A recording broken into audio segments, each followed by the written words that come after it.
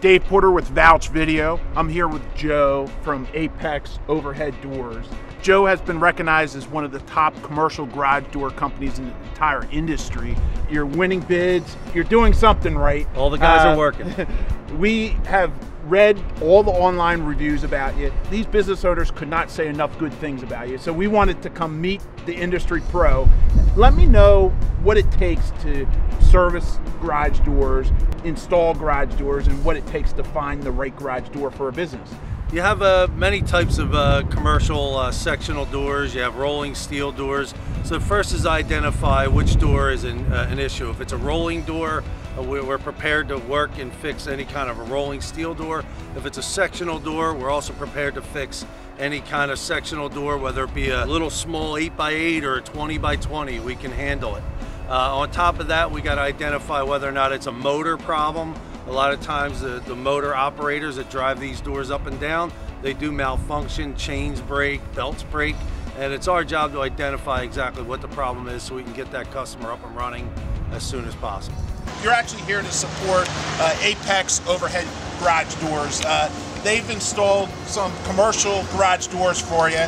Uh, tell me how important it is for your business to have functional garage doors and someone that you can call 24 hours a day to, to support you if, if, if there's any problems. I'll tell you, it's very important to us. Every day we come, we got to be able to open those doors to begin with. Notwithstanding the weather we have, snow, ice, and comes time when the winter time it gets bad, it gets freezing up.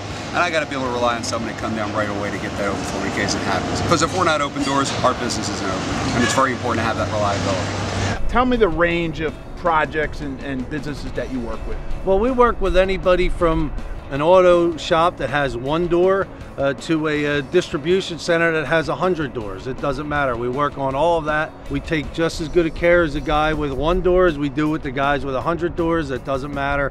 We do the dock seals, the dock levelers that lift up and drop down on top of the trucks. Reversing safety edge is a big deal in commercial and industrial doors.